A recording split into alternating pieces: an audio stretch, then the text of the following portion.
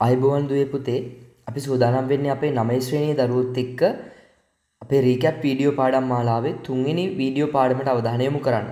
අද දවසේදී අපි කතා කරන්න බලාපොරොත්තු වෙන්නේ වැටීම සහ විද්‍යාත්මක අංකණය කියන කොටස. හොඳයි. අපි අද දවසේ පාඩමට අවධානය යොමු කරමු. පහත සංඛ්‍යා විද්‍යාත්මක අංකණයෙන් දක්වන්න. මොකද දරුවනේ විද්‍යාත්මක අංකණය කියන්නේ? යම් සංඛ්‍යාවක් 1 10ත් අතර සංඛ්‍යාවකත් 10 බලයකත් ගුණිතයක් විදිහට ලියන එකට අපි කියනවා විද්‍යාත්මක අංකණය කියලා. එතකොට සංඛ්‍යාවක් ඉස්සෙල්ලාම අපි බලන්න ඕනේ විද්‍යාත්මක අංකණයට දාද්දී මේ සංඛ්‍යාව 1 10ත් අතර සංඛ්‍යාවක්ද? ඒ අනුව මගේ දරුවෝ කියන්නේ 235 1 10ත් අතර සංඛ්‍යාවක්ද? නෑ. එහෙනම් අපිට ඉස්සෙල්ලාම කරන්න වෙන්නේ මෙයා 1 10ත් අතර සංඛ්‍යාවක් බවට පත් කරන්න ඕනේ. එතකොට ඔයාට මේ සංඛ්‍යාවේ කොහෙවත් තැනක දශම දිතක් පේන්නේ නැහැ. එහෙනම් එයා ඔන්න මතක තියාගන්න දශම දිත පේන්නේ නැත්නම් එයා ඉන්න අවසාන කෙරවලේ. ඒ අනුව මේ දශම දිත අපි ගේනවා එක අවස්ථාවක් ඉස්සරහට. එතකොට කීයක් වෙනවද? ආ 23.5යි. තව එකක් ගේනවා. 2.35යි. ඇයි ඉස්සරහට ගෙනාවේ? මෙයා 1.10 අතර සංඛ්‍යාවක් බවට පත් කරන්න ඕන නිසා. ඒ අනුව අවසානට ආව අපිට කීයද 2.35ක්. දෙපාරක් ඉස්සරහට පැනපු නිසා 1යි බෝල 2යි. එහෙනම් 100 කියලා කියන්නේ 10 බලයක් විදිහට දැම්මොත් 10 කියවෙනි බලයද? දෙවෙනි බලේ. ඒක අපිට මතක තියාගන්න පුළුවන් මේ බෝල 2යි නම් 10 දෙවෙනි බලේ. ඔන්න බලන්න ඊගාව එක. 56.5 පහයි හතරයි දශම දෙක පේන්න ඉන්න. එහෙනම් පේන්න ඉන්න තැන ඉඳන් අදින්න එකක් ඉස්සරහට. යනු කිය දෙන්නේ. පහයි දශම 6යි 5යි 4යි එකක් ඉස්සරහට පැන නිසා 1යි බෝලයයි යනු 5.6යි 5යි 4යි 6යි 5යි 4යි 10 පළවෙනි බලේ එක ස්ථානයක් පැන්න නිසා. මේ බලන්න 3 කියන කෙනා 1.10 අතර සංඛ්‍යාවක් වෙලාමයි ඉන්නේ. ඒ කියන්නේ මෙයා කොහෙටවත් පනින්න නැහැ. එහෙනම් කීයද? 3 වැඩි කිරීම 1 ඒ අනුව කොහෙටවත් පැන්නේ නැති නිසා 3 වැඩි කිරීම 10 බිඳුවෙනි බලයේ විදිහට ගන්න පුළුවන්. ඊගාව එක. බිඳුවයි දශම පහයි දෙක. දැන් තියෙන දරුව ආපස්සට පනින්න. එතකොට මෙයා කීයක් වෙනවද? කියන්නේ මෙයා එතකොට පහයි දශම දෙකක් වෙනවා. ආපස්සට එකක් පැන්න නිසා එකයි බෝලයයි. ඒ කියලා කියන්නේ කවුද? 10 කියලා කියන්නේ 10 පළවෙනි බලය. එහෙනම් මෙයාව ගෙනියන්න වෙනවා දැන් ගුණිතයක් කරන් ඉරෙන් උඩට ඒ අනුව මොකද වෙන්නේ 5.2 අපේ දරුවෝ දන්න දර්ශක පාඩමේ යට ඉන්න ධන දර්ශකයක් උඩට එද්දි මොන දර්ශකයක් වෙනවද? ඍණ දර්ශකයක් වෙනවා. යට ඉන්න ඍණ එක්කෙනා උඩට එද්දි ධන වෙනවා වගේම තමයි යට ධන එක්කෙනෙක් කිරුවොත් උඩට එද්දි ඍණ වෙනවා. ඊගාවට 0.0.02 ස්ථාන තුනක් පනින්න වෙනවා පිටිපස්සට. ඒ අනුව අපිට පුළුවන් දෙක බෙදීම ස්ථාන තුනක් පැන්න නිසා 1000යි. එහෙනම් දෙක බෙදීම 10 තුන්වෙනි බලය ඉරෙන් උඩට යනවා. ඒ අනුව දෙක වැඩි කිරීම 10 ඍණ තුන්වෙනි බලය. 10 ඍණ තුන්වෙනි බලය. බලන්න ඊගාව එක 0.0.5යි 2යි 5. ස්ථාන 1යි 2යි 3ක් ආපස්සට පනින්න ඕනේ. එතකොට අපිට එනවා 5.2යි 5 3ක් ආපස්සට පැන්න නිසා අපිට දාන්න පුළුවන් 1යි බෝල කීයද? 3යි. 1යි බෝල 3යි. ඒ කියන්නේ 5.2යි 5 යට 10 තුන්වෙනි බලය. යවන්න ඉරෙන් උඩට. ඒ අනුව 5.2යි 5 වැඩි කිරීම 10 ඍණ තුන්වෙනි බලයක් වෙනවා. ඔන්න විද්‍යාත්මක අංකණයට දැම්මා. සරලයි කතාව. ඊගාවට. පහත සංඛ්‍යා සාමාන්‍ය ආකාරයෙන් දක්වන්න. අරගේ අනිත් පැත්ත. මේ බලන්න. 8.9 10 දෙවෙනි බලය කියලා කියන්නේ කවුද දරුවෝ? 1.2 කියන්නේ 100ෙන් ගුණ වෙන්න ඕනේ. ඒ අනුව 8.9 8.9 100ෙන් ගුණ වෙද්දී ස්ථාන කීයක් ආපස්සට පනිනවද? දෙකක්. යන අවසාන පිළිතුර කීයද? 890යි. අවසාන උත්තරේ සාමාන්‍ය තත්ත්වෙ ඉන්න 890 තමයි මේ විද්‍යාත්මක අංකණයට දාලා තියෙන්නේ. 1.05 වැඩි කිරීම 10 හතරවෙනි බලය කියන්නේ 1යි බෝල 4යි. 10 හතරවෙනි බලය කියන්නේ 1යි බෝල 4යි. එන 1.05 වැඩි කිරීම 10000 ස්ථාන කීයක් පනින්න ඕනේද? හතරක් පනින්න ඕනේ. හතරක් පනින්න නැහැ ඉලක්කම් දෙකයි තියෙන්නේ. එහෙනම් මදිපාඩුවට දාන්න බෝල දෙකක්. 10500යි. ඊගාව එක. 7.9යි 9යි 4. 7.9යි 9යි 4 වැඩි කිරීම 10 පස්වෙනි බලය කියන්නේ කීයද? 1යි බෝල 5යි.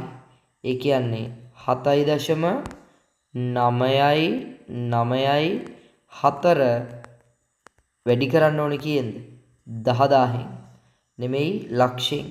ස්ථාන 1යි 2යි 3යි 4යි 5යි දෙකක් මදි. යනු 7994යි ඉලක්කම් තව දෙකක් මදි මදිපාඩුවට දාන්න බින්දු.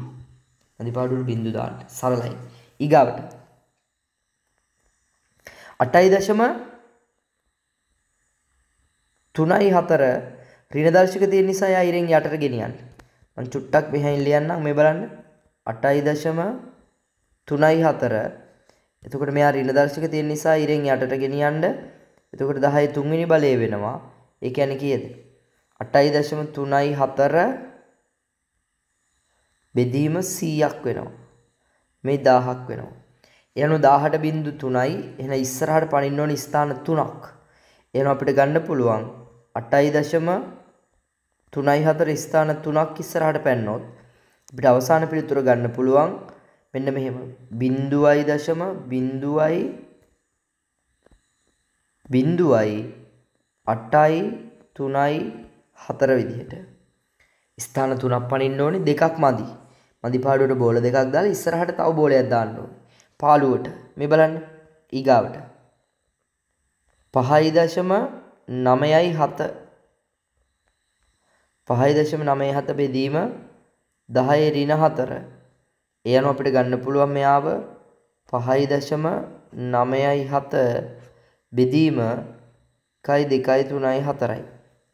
හතරවෙනි බලය කියන්නේ එකයි බින්දු හතරයි ඒ කියන්නේ දහ දහයි. ඒ අනුව පහයි දශම නමයයි හත. කී පාරක් ඉස්සරහට යන්න ඕනේද? හතර පාරක් යන්න ඕනේ. ඒ අනුව අපිට ගන්න පුළුවන් බින්දුවයි දශම බින්දුවයි බින්දුවයි බින්දුවයි පහයි නමයයි හතයි. ඔන්න අව සාමාන්‍ය තත්ත්වයේ හිටපු එක්කෙනා. 7.2 වැඩි කිරීම 10 ඍණ පළවෙනි බලය. එයනෝ 7.2 යටින් ඉන්නවා ඍණ පළවෙනි බලයක්. ඒ අනුව 7.2 යට 10යි ඒ අනුව මෙයා එක ස්ථානයක් ඉස්සරහට පනින්න ඕනේ. මෙන්න මෙතනට එන අපිට අවසාන පිළිතුර 0.7යි 2යි 0.7යි දෙකක් විදිහට එනවා සරලයි අපි යන් ඉස්සරහට සංඛ්‍යා වැටීම පහත සංඛ්‍යාසන 10ට වට යන්නලු. එතකොට අපිට මෙතනදී හොඳ අවබෝධයක් තියෙන්න ඕනේ දරුවෝ මොනව සම්බන්ධයෙන්ද? 10 ගුණාකාර සම්බන්ධයෙන්. 59ට කලින් ඉන්න 10 ගුණාකාරය 50 පිටිපස්සෙන් ඉන්නේ 60. යනුව හරිමැදාගිය 10ට වටේන වෙලාවක බලන්න එක ඉලක්කමක් ගැන එයා හරිමැදාගියද කියලා බලන්න ඕනේ. එතකොට අපි බලන්න ඕනේ මොකද්ද? අවසාන එක ඉලක්ක මැදේ එයා හරිමැදාගිය නම් ඉස්සරහට. හරිමැදාගිය හෝ ඊට වඩා වැඩි නම් ඉදිරියට ඉදිරි 10 ගුණාකාරයට ඊට වඩා අඩුයි නම් කලින් ඉන්න 10 ගුණාකාරයට 50ට 59ට කලින් ඉන්නේ කවුද? 50 පිටිපස්සෙන් ඉන්නේ කවුද? 60 ඒ අනුව අපි බලන්න එක සංඛ්‍යාවක් දිහා. 9 9 කියන්නේ 10න් පංගු වල හරිමැදාගියද නෑනේ. හරිමැදාගිය 5 වෙන්න එපා. ඊට වඩා වැඩි. එහෙනම් මෙයා වැඩි පැත්තට පනිනවා. උත්තරේ කීයද? 60යි 85 මේ පැත්තෙන් 80 මේ පැත්තෙන් 90 දෙන් කොහෙට ගියත් සමානයි. හරි මැදා ගිය තියෙන්නේ. එහෙනම් අපි ඉදිරියට වට යනවා ඔන්න එහෙනම් මතක තියාගන්න. හරි මැදා ගිය හෝ ඊට වඩා වැඩි නම් කොහෙටද? ඉදිරි 10 ගුණාකාරයට. අඩුයි නම් පිටිපස්සට. ඊගාවට. 247 යන අවසාන ඉලක්කම 7 පහට වඩා වැඩි. එහෙනම් අපිට පුළුවන් මෙයාගේ අවසානයට යන්න වැටීම 250යි ඊගාවට 306 නම් වැටුවාම කීයක් එන්න ඕනේද? 310ක් එන්න ඕනේ. එක්දස් පන්සිය දාහතර නං ආසන්න දහයට වැටෙව්වෝත් කලින් ඉන්න එක්දස් පන්සිය එක්දස් පන්සියට පස් එක්දස් පන්සිය දහය ඊට පස එක්දස් පන්සිය විස්ස එන අවසාන පිළිතුර අපිට ගන්න පුළුවන් එක්දස් පන්සිය විස්සක් විදිහට. එක්දස් අටසි අනූ පහයි මේ පැත්තෙන් එක්දා සටසි අනුව මේ පැත්තෙන් ඉන්න එක්දස් නමසීය යන මෙයාගේ පිළිතුර එක්දස් නමසීයයි තුන්දා සටයි තුන්දා සටයි කියල කියන තුන්දස් දහයයි ආසන්න දහයට වැටවුවාම හාරදස් දහය දහය ගුණාකාරයක්ම නිසා අපිට පුළුවන් එයා ඒ විදිහටම තියාගන්න හාරදස් දහය විදිහට. පැදිලි නේද? ඔන්න ඔය විදිහට අපිට පුළුවන් සංඛ්‍යා එන 10ට වට යන්න. 100ට වටේදී අවසාන ඉලක්කම් දෙකක් ගැන බලන්න ඕනේ. හරිමදාගේ හෝ ඊට වඩා වැඩි නම් ඉදිරියට අඩුයි නම් පිටිපස්සට. 54 හරිමදාගේට වඩා වැඩි එහෙනම් ආසන්න 100ට වැටෙව්වොත් 100යි.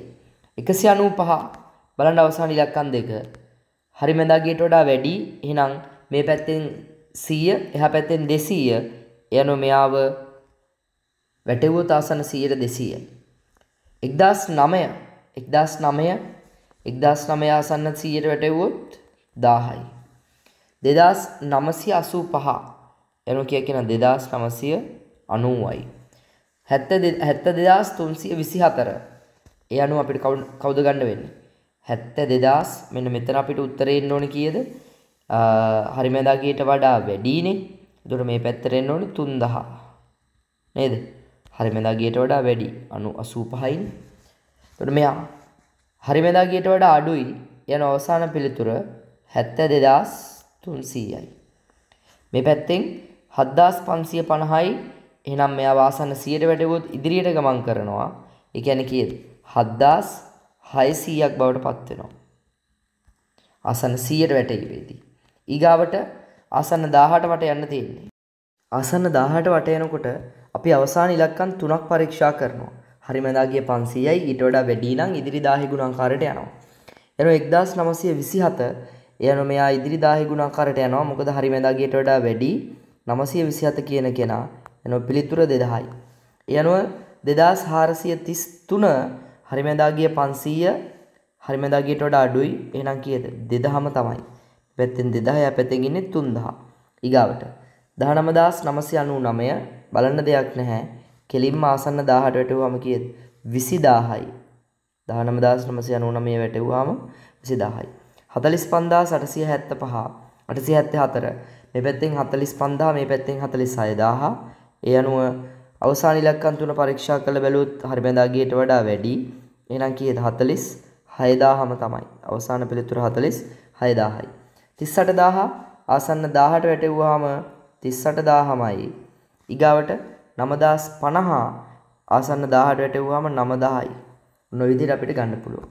පහත දශම සංඛ්‍යා වට යන්න දොළහයි දශම දොළහයි දශම තුනයි හයයි පහ මෙතින්දි අපි දෙවන දශමස්ථානයට පළමු දශමස්ථානයට සහ පූර්ණ සංඛ්‍යාවට වටයනවා දෙවන දශමස්ථානය කියන දශමස්ථාන දෙකක් වෙනකන් ඉතුරු කරගෙන අනිත් අය යවන්නලු. ඒතර මෙතනදී අපේ අවබෝධය තියෙන්න ඕනේ දරුවෝ දශම දෙකෙන් පස්සේ එක ඉලක්කමක් යනවා කියන්නේ 10න් පංගුවක්. දශම දෙකෙන් පස්සේ ඉලක්කම් දෙකක් යනවා කියන්නේ 100න් පංගුවක්. දශම දෙකෙන් පස්සේ ඉලක්කම් තුනක් යනවා කියන්නේ 10න් පංගුවක්. ඒ අනුව දැන් යන්න යන්නේ දශම දෙකෙන් පස්සේ එක ඉලක්කමක්. එයා එහෙනම් 10න් 5ක්. හරි මැදා ගියේ නේද? 10න් 5යි කියන්නේ 10න් පංගුවල හරි මැදා ගියනේ. එහෙනම් එකක් මෙයාට අපි දීලා යනවා. හරි මැදා ගිය හෝ ඊට වඩා වැඩි නම් එකක් දීලා යනවා. ඒ අනුව උත්තරේ කීයද? 12යි දශම කීයද? 12යි දශම 3යි 7යි. ඔන්න බලන්න ඊගාව එක. පළමු දශම ස්ථානයේට 100න් 65ක්. හරි මැදා ගියට වඩා වැඩි. එහෙනම් කීයද 12යි දශම 4යි. පූර්ණ සංඛ්‍යාවට වට යනකොට ඉලක්කම් තුනක් යනවා. ඒ කියන්නේ 1000න් 365ක් යන්න යන්නේ.